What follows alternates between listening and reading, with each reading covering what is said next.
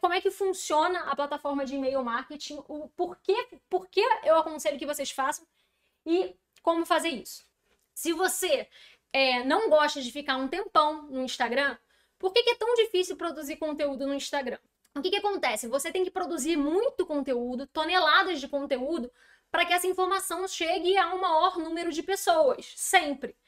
Porque o algoritmo não entrega para 100% das pessoas, nem perto disso. Ele vai entregar para 7%, para mais ou menos 7% ou menos, tá?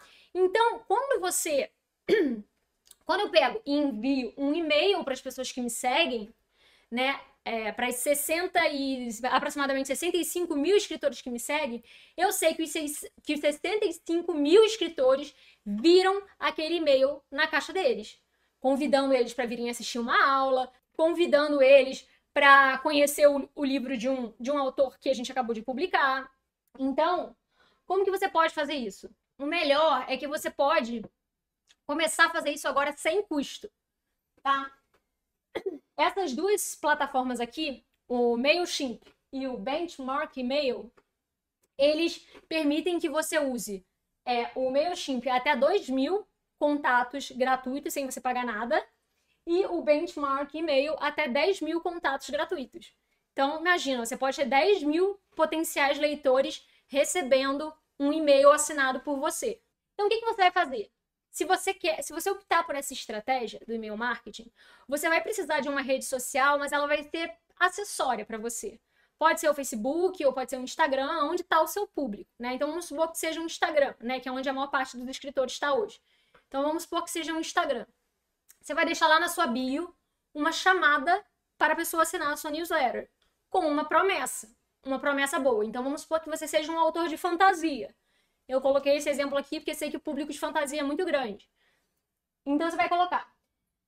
Quer receber toda semana no seu e-mail dicas de leitura de clássicos da literatura fantástica, por exemplo, ou de clássicos da literatura de é, ficção científica, ou de dicas de contos de horror, ou dicas de escrita criativa, enfim, né? Dependendo aí de qual é o seu público, ou dicas de, de livros hot é, que estão gratuitos na Amazon.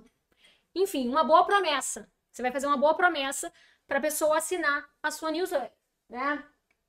E aí a pessoa vai assinar e ela vai cair dentro da sua plataforma de e-mails. Aí isso significa que você vai na sequência programar um e-mail, né? A plataforma te permite fazer isso, programar um e-mail que a pessoa já recebe automaticamente quando ela assina sua newsletter dizendo: Olá, tudo bem? Eu sou Fulana, eu sou escritora, eu, a minha grande paix paixão é, é, é, a literatura de fantasia, eu escrevo desde os 12 anos de idade, a minha paixão é essa, essa, aquela, eu já publiquei aqui, ali ali. Você já pode conhecer o meu trabalho acessando esse link na Amazon do livro que eu publiquei no ano passado. Você já pode, inclusive, começar a fazer venda já nesse, nesse, nesse, nesse começo do processo de relacionamento, né? Então você vai, se apresenta, aí você reafirma a sua promessa. A partir de agora, toda semana, uma vez por semana, aí você diz o dia que você vai mandar.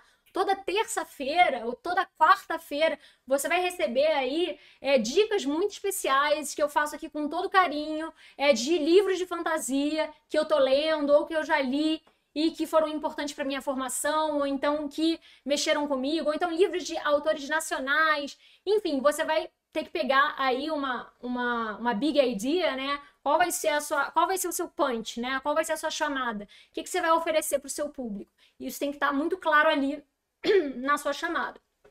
E aí você vai começar a chamar as pessoas para você. E aí nesse e-mail, nesse nessa relação que você começa a estabelecer por e-mail, você começa a é, se envolver com, com o público, a criar relacionamento com seus leitores e potenciais leitores, né? Você vai enviar o conteúdo que você prometeu e você vai falar também é, das suas conquistas como escritor. Né? Você vai, é, se sair uma resenha, por exemplo, do seu livro, uma avaliação na Amazon, você vai compartilhar. Né? Se alguém que te segue na sua newsletter te mandou um feedback bacana, você fala assim: pessoal, estou muito feliz que alguém aqui da nossa comunidade me mandou um feedback incrível do meu livro e tal. Aí você aproveita. E aí, você já leu o seu? O que, que você pensa? E aí você vai engajando a sua comunidade em torno do seu livro.